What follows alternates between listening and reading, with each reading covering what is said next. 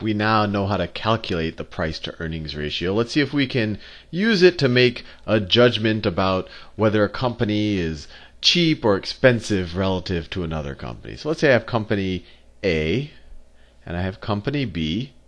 And for the sake of our discussion, let's say they're in the same industry. And that's important because price to earnings really is more of a relative valuation. You kind of want to compare apples to apples. It's hard to compare uh, one price to earnings in one industry to another. We'll talk a lot about in the future about why that is, and we'll get more into the nuance. But let's just say they're in the same industry. Maybe they're software companies.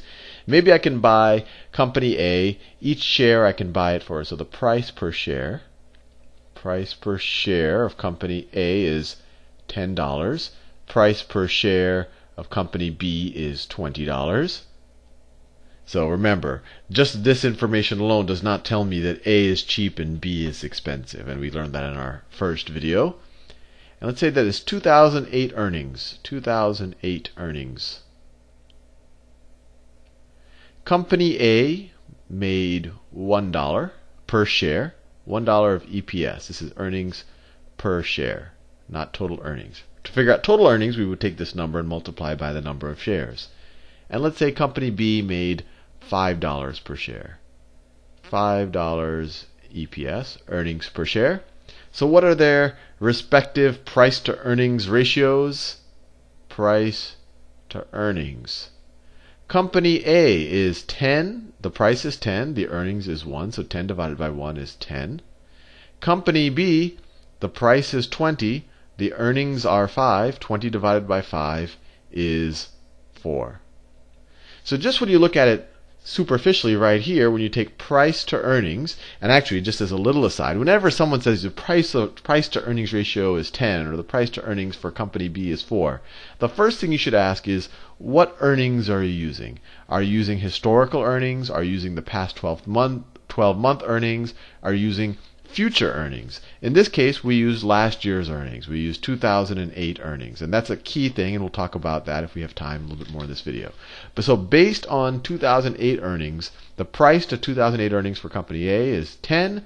Price to, to 2008 earnings for company B is 4. So for every for every uh, dollar of earnings per year, if you believe that the 2008 earnings are indicative, you're paying $4 here. For every dollar of earnings here, you're paying $10. So based on that, this looks cheaper. This looks cheaper. Right? Low to low price to earnings ratio implies that it's cheaper. For the same earnings, you're paying a lower price. For every dollar of earnings, you're paying $4. For every dollar of earnings here, you're paying $10. So it looks like it's cheaper.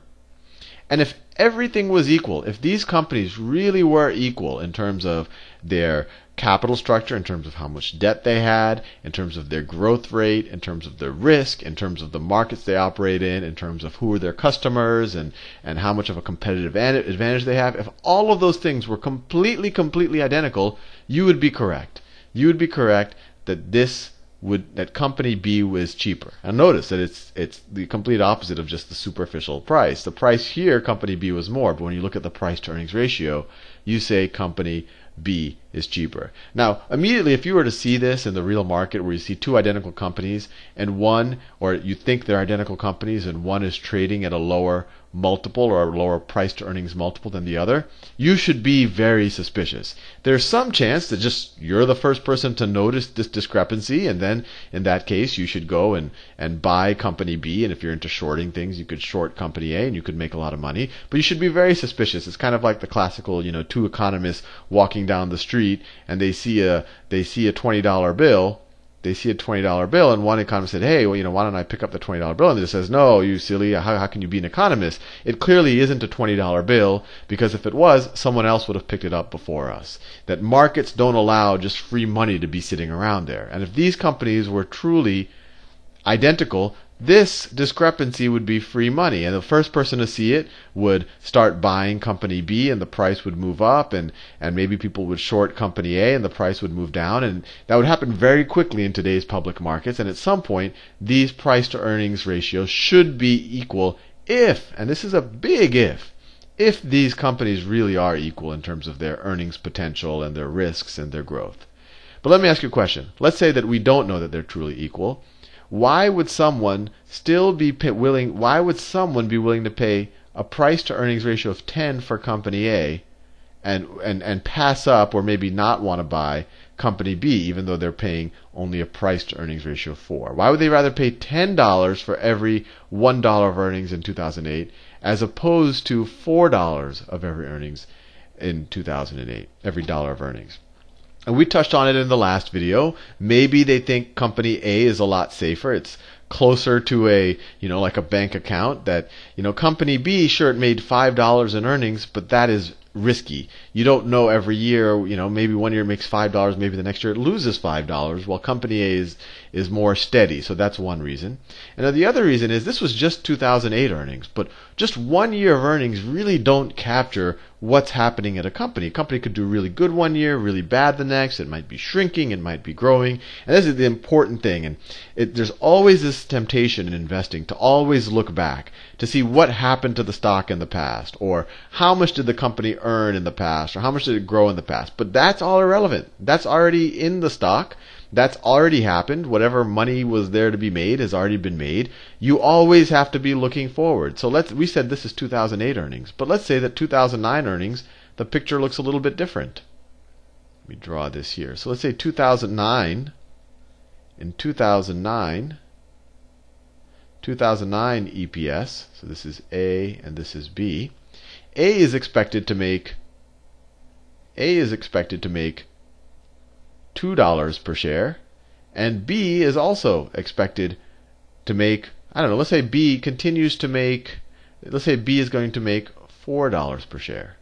So now if you took the price to earnings ratio on 2009 earnings, some of which is behind us. I'm, I'm, making this video in August of 2009, so we know half the year, but the, the other part of this number is kind of a projection. You know, hopefully, uh, diligent and intelligent people have come up with this estimate. So oftentimes you, you'll see this is a 2009 estimate EPS. This is the people's best guess. But here, the price, the price to earnings for 2009 then becomes a C. If I'm paying $10 today for $2 of earnings in 2009, it's a price to earnings of 5 for company A. While for company B, it's a price earnings 20 divided by 4. It's also a 5. So notice, now when you look at 2009 earnings, they look pretty similar. So although when you looked back at 2008 earnings, company A looked expensive, higher price to earnings than company B. But then when you look at the current earnings, they look they look similar. Now, why? Uh, the question was, why would someone want to pay more for company A? Well, or you know, why would they choose company A over this? This analysis I just said said, oh, based on 2009, they look it looks neutral. They they their price to earnings ratio are the same. For every dollar in earnings, you're paying five dollars. But notice a trend. In 2008, they made a dollar. Then they made two dollars in 2009. And maybe there are some estimates for 2010. Maybe in 2010, or maybe you can make your own estimate. So maybe in 2010, people saying this company company A has a great product, it's growing, the market's growing. Maybe in 2010, company A is going to make $2.50. It's going to grow another 25% in in 2010. Maybe its growth rate slows a little bit, but it's going to continue to grow. While company B, it went from $5 of earnings in 2008 to $4 in 2009, and maybe maybe it, it shrinks a little bit, maybe it shrinks in half, maybe it goes to $2 in 2010. So now if you do a price to earnings on 2010, on 2010 earnings, so this is, you know, 18 months out from when this video is being made, all of a sudden your price to earnings, your price to earnings of relative to 2010 earnings is 4 for company A, and it's 10 for company B. So now we've switched places. Now company B looks more expensive on 2010 earnings, and company A looks downright cheap. And this is an important thing to realize is that in the in a present period you are willing to pay a higher price to earnings ratio if the company is growing. And you're going to pay a lower price to earnings ratio if the company isn't growing. So growth is the other reason why you're willing to pay a higher price to earnings ratio. A good exercise when you let's say you see a company sometimes someone might look at a company and let's say there's, you know, let's say company C, it's trading at $100. It's trading at $100 and let's say for 2009 people expect it's going to make people expect it's going to make one dollar. So a lot of people immediately will figure out the price to earnings based on 2009 estimated earnings. Remember, it's always important to know what the E is. This is 2009 estimates. 2009. They'll say this is a 100 price to earnings ratio. That's crazy. I would never pay. That's an expensive company. And maybe they'll even short it there, which is which can be a very foolhardy thing to do if you're not careful. But the, what you might say, oh, no, no, don't short it just yet. Think about it. This company is growing so fast. Based on my projections, they've just really tapped into this market. They have this intellectual property. No one can compete with them. In 2010, I, I expect this company to double every year. Or let's say I expect them to grow 100% every year for the next three years. And the other person says, oh, fine, okay. In 2010, if they're going to double, they're going to make $2. Well, that's still a price to earnings based on 2010.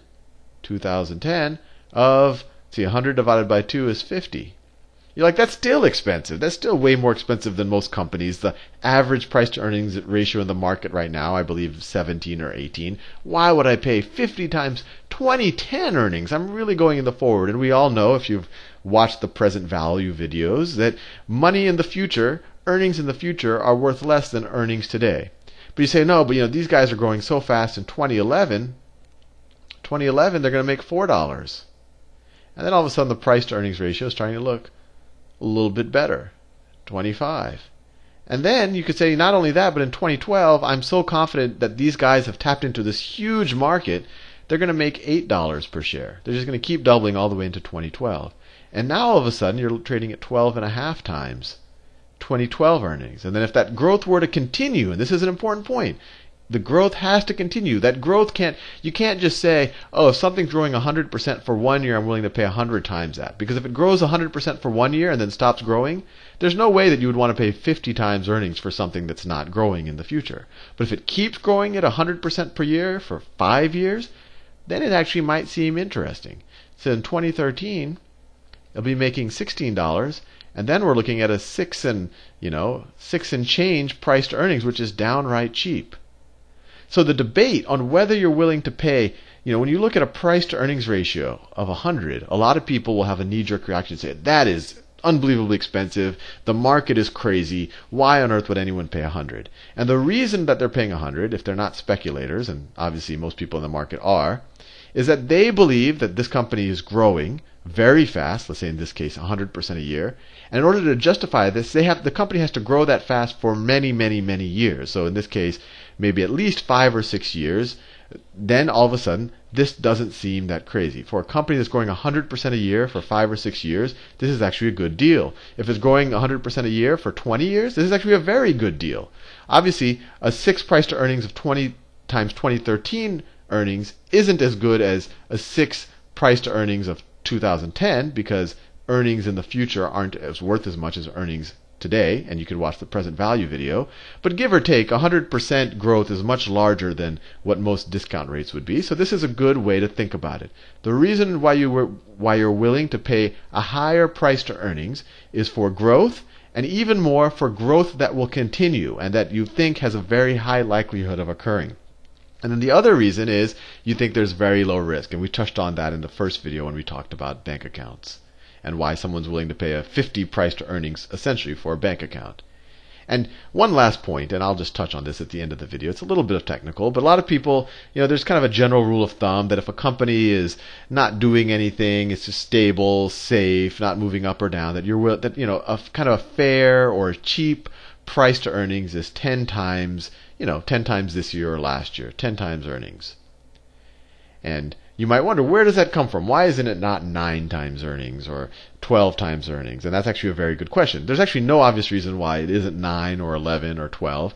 It's just 10 because, one, this is a nice round number. And also, if you were to take an earning stream, so if you were to take, you know, if, if a company in 2009, 2010, 2011, 2012. It just kept going. And if it had an earning stream, let's say in every year it's going to make a dollar, and you were to discount this back, and you should watch the present value videos if you, this makes no sense to you. But if you were to present value this, let's say they make a dollar forever going into the future, and you were to present value this using a discount rate. So 2009 money, that's worth a dollar. 2010 money, you want to discount it. So you want to divide it by, let's say we use 11% as a discount rate. And actually, you know, roughly 10 or 11%. This is all a little bit of hand wavy. So this, the value of that dollar would be 1 divided by 1.11. I just added the 11% here. The value of that dollar would be 1 divided by 1.11 squared. This dollar would be 1.11 to the third. If you were to add up the present value of that income stream, you're going to get roughly 10 $10 or 10 times the earning stream. So that's where it comes from. It, it's it's it's kind of instead of doing this present value calculation for everything, and there's so much error involved anyway in terms of just estimating earnings, people just give a rule of thumb. But obviously, if interest rates go down, then this number will go down, and you might be able to justify a higher price to earnings. But I don't want to go there just yet. Anyway, see you in the next video.